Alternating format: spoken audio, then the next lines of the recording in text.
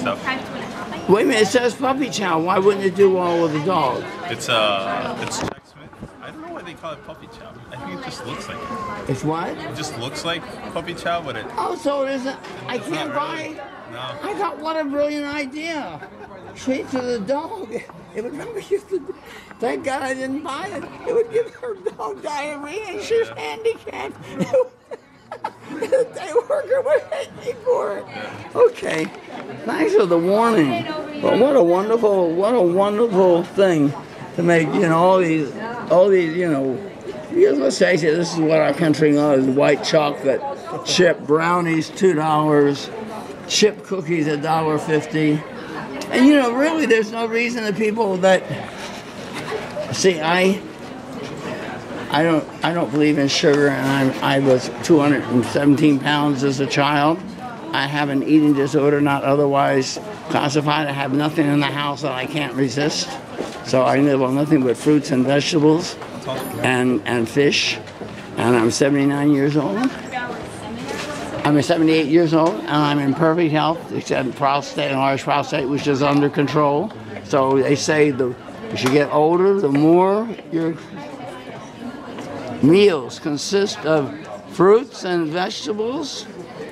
No matter what age you start, the longer you live. So I'm telling you, I know you're out here selling this deadly food, and I'm not holding it against you because it's not you to change the eating habits of the world. You're here to raise money for UNICEF, but for your own sake, eat vegetables and fruit and fish. Avoid salt. Avoid sugar.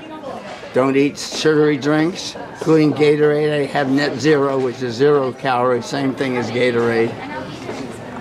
I tell you about there is such a thing as called Wilshire Farms calorie-free chocolate. It's three dollars and seventy-nine cents a, a jar.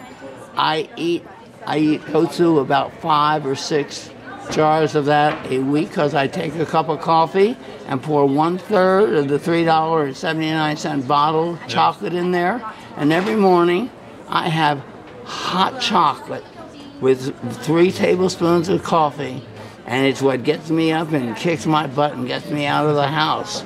funny. So that's my that's my my recommendation on that. Thank you very much. Of course. Thank you. You don't, you mind if I put this on the internet on YouTube? No, go ahead. Okay, you you don't have to. You want to tell me your name or anything? Enrique. But Enrique. Enrique, and you are you a, a volunteer for UNICEF? No, I'm a law student, so we're gonna send them the money. Oh, so you're you're law students that are working for the benefit of UNICEF, unpaid, I assume. Yeah, unpaid. Oh, that's great. Because I'm with Planned Parenthood, had all these people out asking for money. I said, "Are you paid or unpaid?" She said, "We're paid." I said, "How much?" And she said, "Depends on how much money." yeah. Oh, yeah, they the- the work. the They work on commission. So I told her, I said, "You know what? I don't believe in giving to organizations." But I said, "I believe in supporting activists." I said, "You don't make much working for a nonprofit." I said, "Here's twenty dollars, but it's for you, not for the organization." That's great. because some organizations, you know, too many dollars. I mean, what, how much? They, billions of dollars went to Haiti, and none of it got to the people. Right. And really, I mean, that doesn't mean I'm against UNICEF, you know. Right. But